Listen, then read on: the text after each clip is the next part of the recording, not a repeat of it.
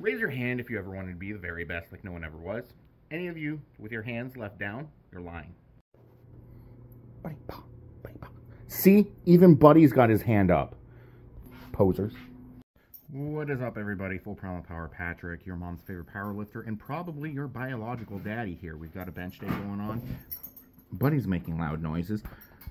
And we've got our breakfast going on. We've got the bowl. The bowl is full of three eggs, 181 grams of 93.7 beef, and some ketchup to make me not want to blow my brains out. Post-eating walk is a necessity, especially in the morning. You get all those fats and proteins in your system. You want your nutrient delivery system, your blood flow, bloodstream, to uh, incorporate it into your body. Best way to do that is to wake everything up, get the blood flowing, and that's with a morning walk. And if you're lucky, you got a little poppy. What's up, bud? He's mad because we're trying a new leash aggression training and he's not liking it because he's not able to jump around and be a maniac. But so you'll be the greatest or the very best like no one ever was. Pokemon, right? But of the Pokemon games, which one is the best? And I, I got some I got some opinions on it based on psych, psychology. It's all based on what your goals are.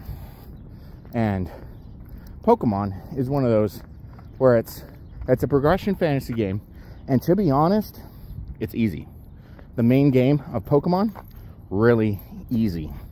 Because they wanted it to be catered towards Western audiences. And uh, so they made it easier. If you've played any other JRPG, you know that is extremely difficult. Like, how many hours have you guys spent? I mean, uh, on Fire Emblem, like the, uh, what was it? The uh, Flaming Sword, the first one that came Western. The hard mode was easy mode in Japan, for for reference. So, which Pokemon game is your favorite? And it's it's a lot of people's favorite. Like the, the, the, the series as a whole is a lot of people's favorite because it's easy. It's easy to get into. The barrier to entry is very low, but it's got a very high ceiling. Everyone thinks they're good because they beat the Elite Four multiple times. But you get into competitive, can't even take down another person's Pokemon. And it's a lot of strategy. Trust me. I thought I was good. Then I invited Shane Haller to the uh, very first 2300 talk. And uh, I was like, we're going to play Pokemon uh, to finish this up. And uh, he bopped me seven games in a row. I think I took one of his Pokemon down and wasn't even close. But he sit.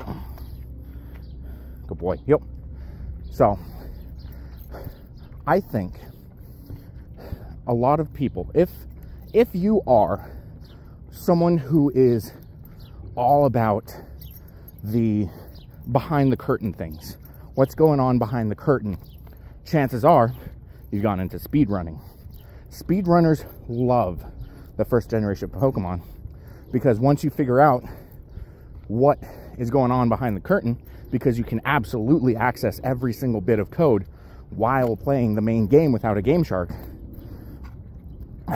you, it's it's like a playground because it was written in uh, Access, I believe, which is no, that's that's Microsoft Access.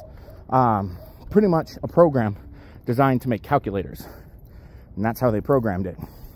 So if you look at the um, world records for Pokemon and speedrunning, the the first generation, you can see a lot of the skips are super cool. Like, um, you can skip the entire rocket facility, Silph with the usage of a Pokédoll at the uh, Lavender Town Tower, the Pokemon Tower.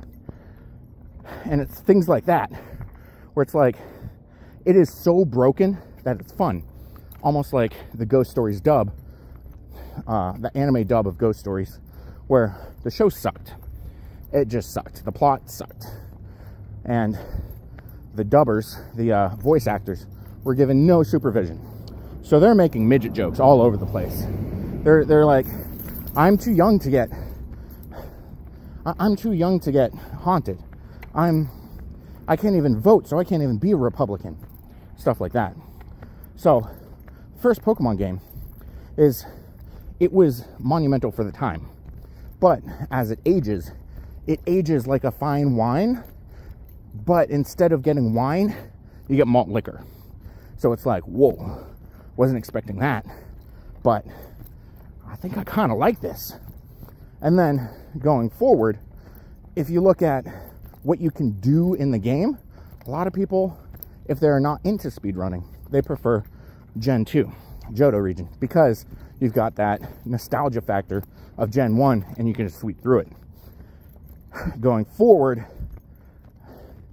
Pokemon tried to restart, basically revamp its entire image after Gen 2 with Gen 3, which is why up until pretty far into Gen 3, there were no Pokemon from the previous games. And they were trying to be, hey, this is almost like a whole new thing, technically still Pokemon, but it's all different now.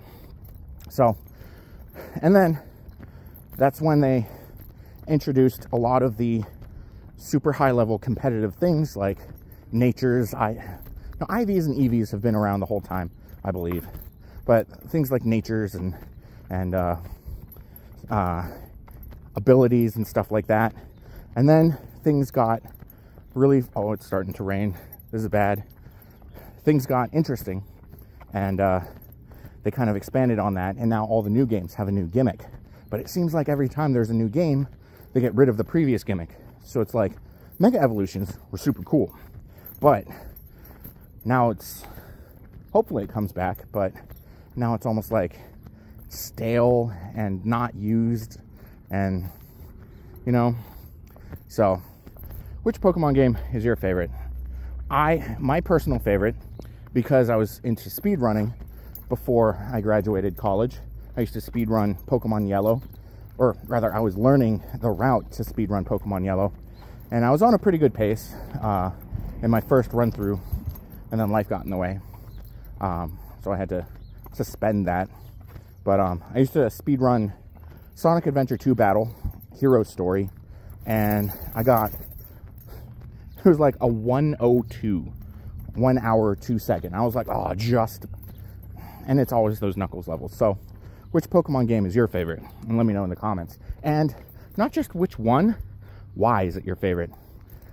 Because we all love Pokemon. We're all in this strength pursuit for progression. And, you know, games like that where you start off low, early, weak, and then you become like a overpowered superhuman with your super cool team and you progress. That's what appeals to us, I believe, on a psychological level. That we we love progression and we're attracted to it, which is why we're into the, the pursuit of strength and uh, all that jazz. So, um, which Pokemon game and why? Let me know. So if you've been following along for a little bit, my life has been a little hectic, for lack of a better term. And, um, when things hit the fan, censoring it for you, YouTube. Algorithm homie. Um, it's really important to keep yourself accountable. And I have not been good at that and I need to work on my accountability. And the way that I'm going to go about keeping myself accountable is probably the best way that you can go about keeping yourself accountable. I've been trying to use these videos where I'm talking about things and really discussing the way that things are going for me and how I'm feeling, and it's coming off more of just whining. Uh, and I personally would not watch videos like that, so why would I um, produce videos like that? And yeah, so what we're doing is we're going to keep ourselves accountable through journaling. And journaling, oh, sounds super gay, but there's a difference between journaling and keeping a diary. And a diary is is very feminine and, and stuff, where a journal keeps you, you basically write down your goals, the steps you're going to take towards getting it, and like everything that you need to do and keep those steps accountable for what you need to do. And it's good to keep a calendar as well in conjunction with your journal. My calendar is actually uh, downstairs in my sleeping area. And uh, this is actually the, uh, the room that I'm trying to convert into my office space area. And right now it's just full of junk, but um, I've got a desk and there's like shelves and stuff. And uh, right through that door is where my, well, let me actually show you. Oh, shoot. I need to clean that up. This is my uh, recording studio, and I, I, don't have my recording laptop there because it's actually right there. And uh, that's what I use to, to, to, program my clients. Because up until this point, I haven't had a super comfortable, a super nice space for, uh, I spoke coffee, for recording. And um, I actually have a desktop that I need to set up in here. And I've got these uh, it's it's like a gooseneck version of like a, a, a, monitor display. So I'll have dual monitors, and I got a, a, monitor there that I got for Christmas that I never really set up. So we're gonna go about and doing things a little bit more professionally, or I, I mean, ah, what is it? I've, I've got one of the uh, David Coyle books on on my um, desk right now. That's the talent code, but from the the culture code one of the things, uh, oh, I'm so attractive, that he talks about is when you make things enjoyable, you make things easy, then you're more likely to stick to a plan. So having my own space and not feeling like I, I don't have a home to go to, um, that I don't have that Maslow's hierarchy of needs fulfilled, is is going to make sure that I'm more accountable and keeping myself more in check with the things that I need to do in order to be successful. So I got to clean up the coffee that I just spilled. Um, and I'll get down to journaling. Oh, one more thing I forgot to mention. So I count myself a part of the one plate club, which means that I use one plate for all my meals, which is why I have the dog food bowl because I got annoyed with people stealing my one bowl. So we got that in order to make sure that people stopped stealing our bowl because very many people are like, oh, it's a dog food bowl. It must be disgusting. Nah, I just got that dog in me. I also implement this idea to my pens because I'm very particular about, ah, getting there, the, the way I go about using my pens because when you care about things a little more than the average person, you're going to be better at it. So if you care about your results in the gym a little better, you're going to be better than everyone else. It's just a fact of life. So I historically have had bad handwriting. So I've got a pen, a singular pen, a fountain pen. Now this pen was only 10 bucks, but how many pens do you have in your household, in your office space you can't you, you probably can't name off the top of your head. It probably cost less than 10 bucks to get that. And how much do you care about your writing? And if you're going to do something, it, it's like going back to that that if you make it enjoyable and it'll make it easy. Writing with a fountain pen ruins writing with any other pen.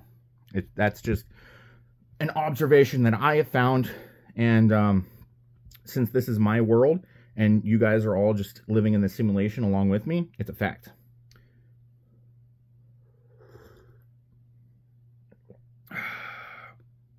So, get yourself a fountain pen and work on your handwriting.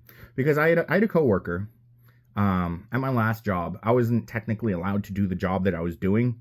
So when they got the first opportunity to reprimand me, they reprimanded me to uh, oblivion and they allowed me to quit.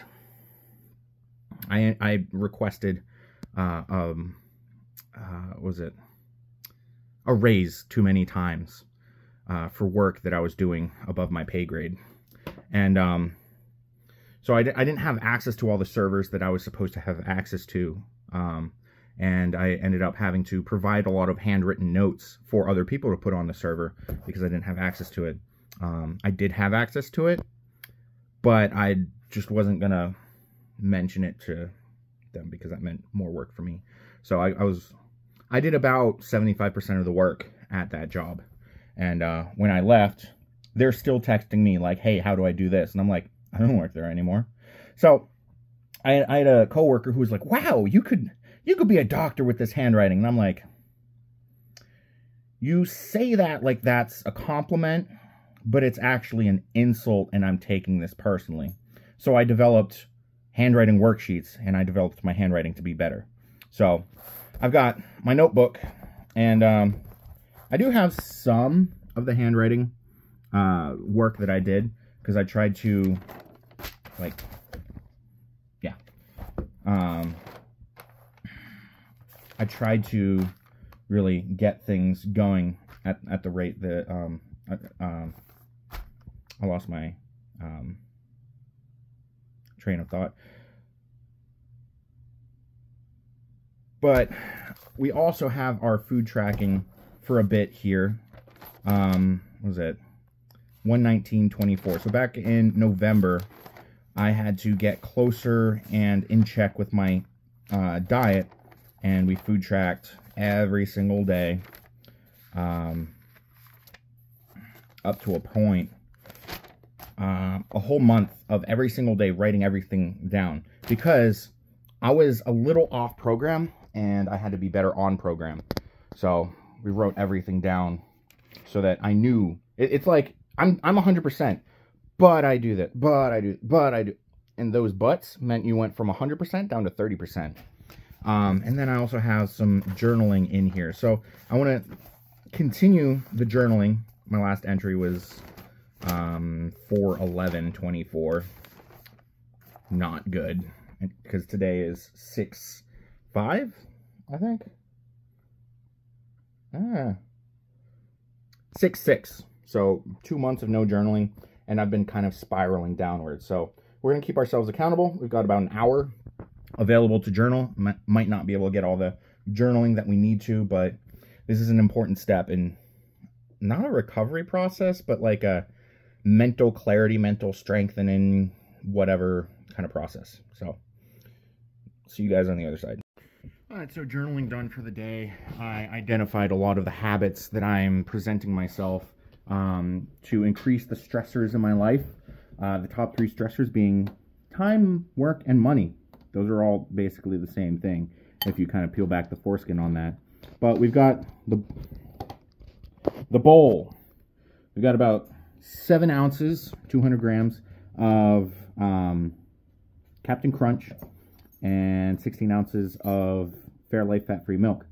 And I'm going to respond to YouTube comments while I'm eating this. And then we're going to get our pre-workout done, do our free Uber duties, and then we're going to be at the gym. So I'll see you guys there. Prepare your snatch and down the hatch.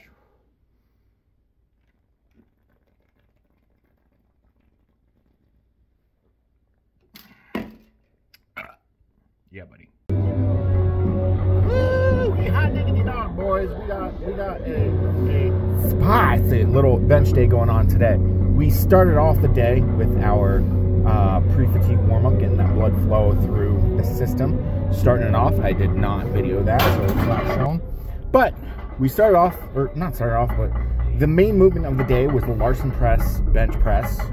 Um, and uh, we've been doing the, these for about eight weeks at this point. So we started off with a hypertrophy block of Larsen press and we've moved on to a hyperplasia and we're getting closer and closer to 400 pounds for the Larsen presses for reps and I'm edging further and further.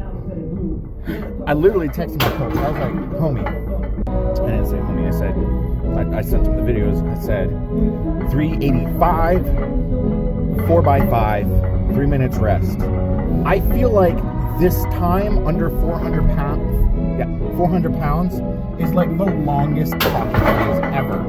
Everything's clicking really well, and I just, I, and that that's where I ended. But I wanted to say more, uh, but it's it's one of those where you, you don't when when clients tell coaches how to co coach themselves, that's a red flag as a client. Now, I know I've got a lot of red flags as a client, but that's mostly because I am a mess of a human and my entire existence is red flags. So we got, I already said 385, 4x5. It felt really easy.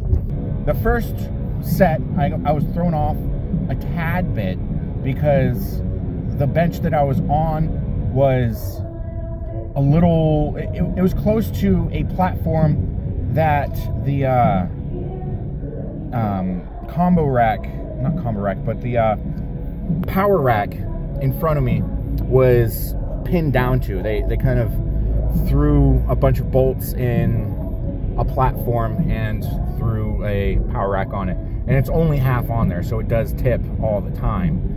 It doesn't tip all the way, but it's it's one of those like you're bowling and you almost got a strike, but there's that one pin that's dancing around, and it's like, nah, homie, I'm not falling. I'm not falling for you. So that's that's it, it, threw me off the first rep and the, the four reps that came after it. It was a little like, I'm trying to keep my feet away from there because it's that's not the movement we're doing because I didn't want to be bracing myself against that platform. That wasn't the movement we were looking for.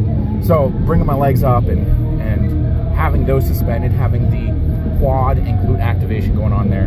Um, different than the crossing the legs in the front like I used to do. A little bit of a different form for this Larsen press going forward. Then we jumped into the incline dumbbell bench. And those those felt swifty. Those felt phenomenal. So everything going on today felt really good. We we bumped up to the 125s, like we've been saying for the past couple weeks. And we're gonna stay there for a hot minute because it wasn't hard, but we were getting a bit of a hypoxic response coming on, coming on. A little more, it, it's like when you know, you feel the burn and you know that you can go further.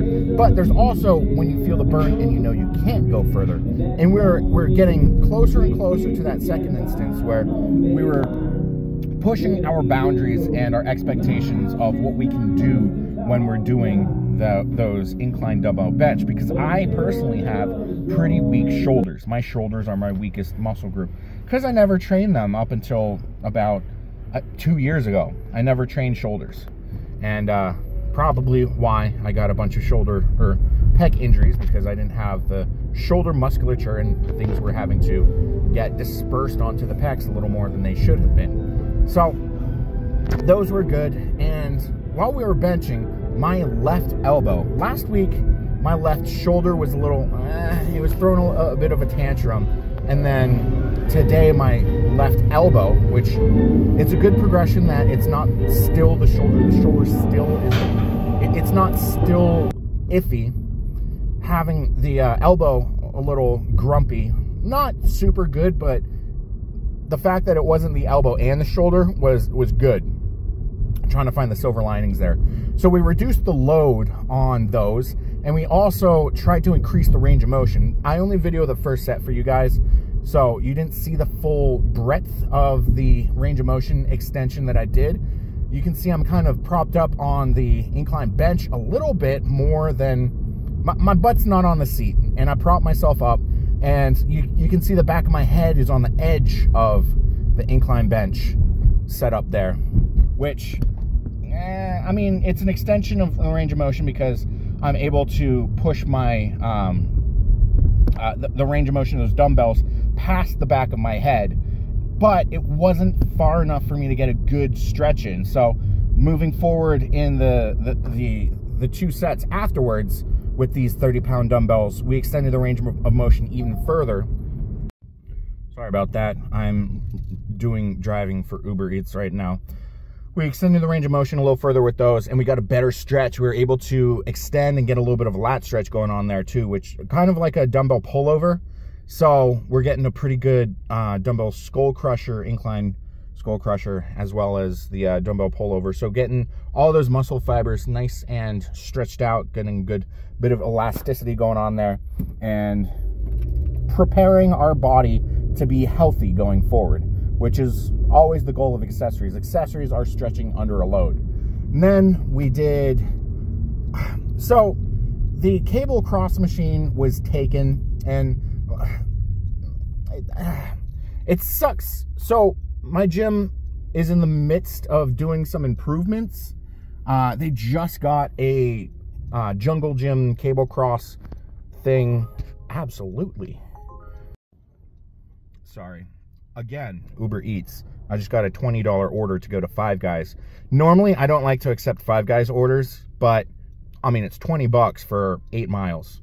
So, uh, my gym just got uh, one of those Jungle Gym cable cross where it's got like eight stacks. And right now, it's only got one stack, but it's got three attachments to that one stack. So, if one person is using one thing, they're the only person using the entire cable cross machine, which, I mean, it was starter equipment. And my, my, um, the, the owners of the gym were, were talking about it at uh, yesterday while I was doing my cardio. They were talking about, they were like, it's a little embarrassing that we have this, but it's starter equipment, and we're finally taking the steps that we need to to upgrade the equipment for our members. And like, we appreciate that, and it's super cool that they're doing that. It sucks that another gym went under. Uh, the gym that I used to train at, Heavy Metal, up in Gilford, New Hampshire, uh, closed down uh, either this month or last month and the owner is selling off a bunch of his stuff and the gym that I'm at now is getting a bunch of the stuff. So people are like, oh, how is this? And I'm like, oh, I love that piece of equipment. It's awesome. And uh, it is. So um, we had to kind of conjugate the movement. So we had to use um, red bands and we crossed it across two different uh, power racks that were spread out a bit. I, I tried to do it in one, one um, uh, power rack, but the, the I didn't get the pec stretch. It was more like a, a bench, like a wide grip bench rather than a pec fly. And I wanted the pec fly going on there uh, because we had to superset uh, a cable cross pec fly with a uh, uh close grip pulsed push up and we were able to achieve that with the the red bands. It was a little weird getting the foot position right for that, but we did it. And then we finished off with some biceps, and we got some pretty nice pumpage going on there in the pump check. So I'm off doing the Uber Eats. I'm almost at the Five Guys. Uh, that is gonna give me $17 for eight miles. So I'm pretty happy about that. The first delivery of the day. My car still smells like Five Guys from yesterday because I had an order that was three bags large. How much food do you have to order to get three large bags for for for five guys? It was atrocious. My my car has smelled like five guys ever since. And I'm trying to get it to not smell like five guys fries because I'm an I'm I'm a healthy boy. I follow a nutrition plan. I don't want to I don't want to be smelling five guys wherever I'm driving, but it's inevitable that your car is going to smell like some of the deliveries you're doing when you're doing Uber Eats. Consider that next time that you're on your Uber Eats is no one's plan A. It's always a plan B, plan C. So, I mean, it sucks, but it is what it is. I got bills to pay. And if you guys aren't ordering off my Printify, which I know none of you have, I can see the orders. No one's made one. Check it out. Link in the description. So, I'm off and I'll give you some unhinged chaos thoughts that just exist in my brain when I'm doing this because I get really bored and I think a lot. And when I think, bad things happen. And you guys are going to benefit from that. Bye. We've got the bowl. The bowl. We've got 400 grams of white Calrose rice. We got some honey mustard to, to add a little razzle dazzle. We've got some Himalayan pink salt on there to make us want to actually eat this. And we've got about 250 grams of chicken breast and a Diet Coke. Because caffeine-free Diet Coke is anabolic. Facts. I just delivered to a neighborhood where I think a million dollar house would be the the cheap house on the block. Like these house six car garages. Houses so large they go into an L shape because they're towing the property lines. Like I, I just want a piece of land that I can let my dog run free on and like a tiny little shack. So much house. There is so much house there. And it's like the more house you have, the more house you have to clean. I want a little space, a little space for little old me and little old buddy. That's all I want. But also consider guys who have shaved heads. Um, they probably don't have the biggest benches because guys with big benches can't reach their entire head. And they probably can't shave it very well. Unless, unless they have someone doing it for them. But let's be honest. I, I, I couldn't I couldn't shave my head every day. I, I just couldn't do it because I couldn't reach and because I can't help I, I can't ask someone to help me out with that because that's weird. I I get weirded out by other people's hair. It's it's weird to me. Also, I didn't know that Asian tour buses were a real thing. I thought that was just a movie trope. Learn something new every day. So, just finished another graveyard shift. Basically, it's almost one in the morning, and uh, we did just under 20 bucks an hour, which I mean that's pretty good, all things considered. It's a it's it's a Thursday night and it's slow. But we've got our last meal to eat for the day.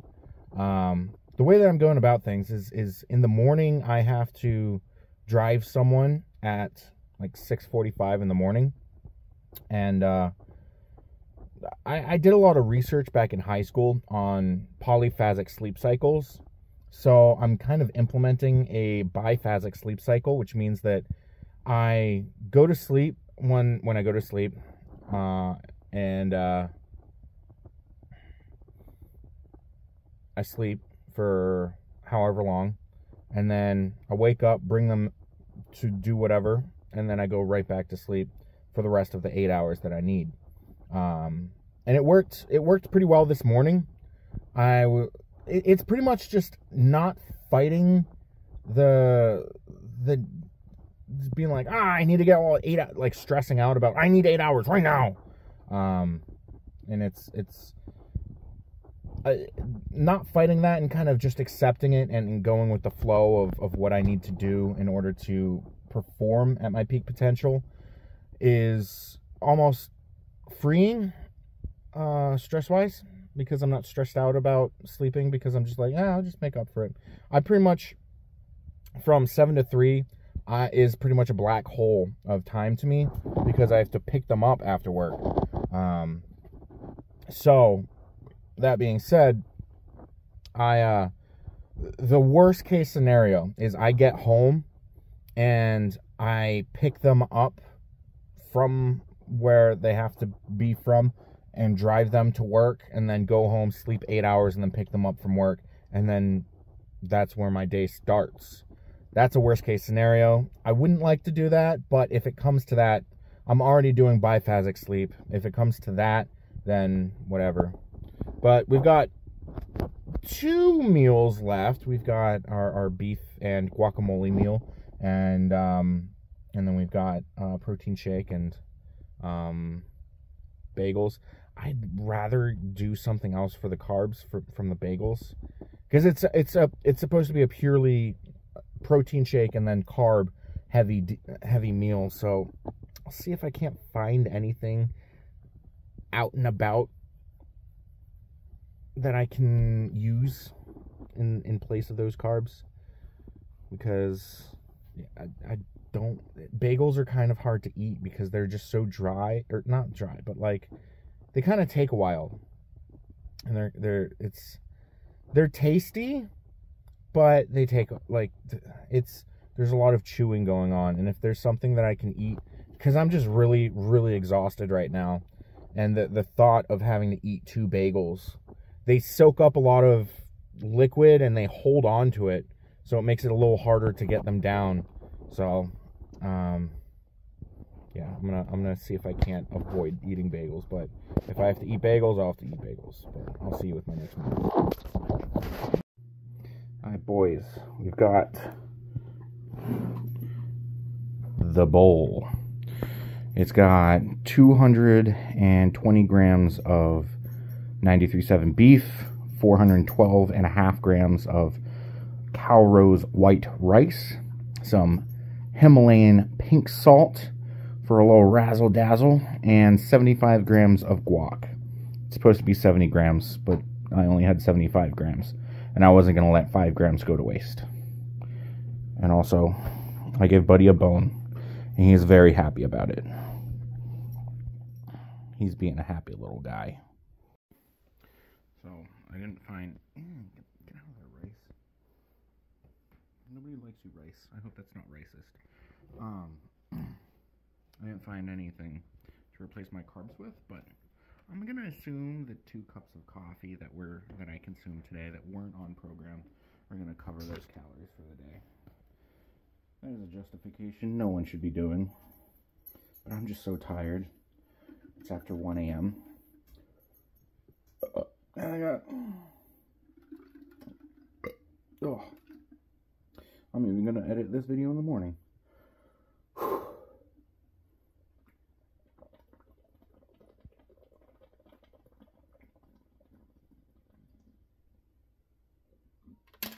Ah, cowabunga, my dudes. Like, comment, subscribe. See you later.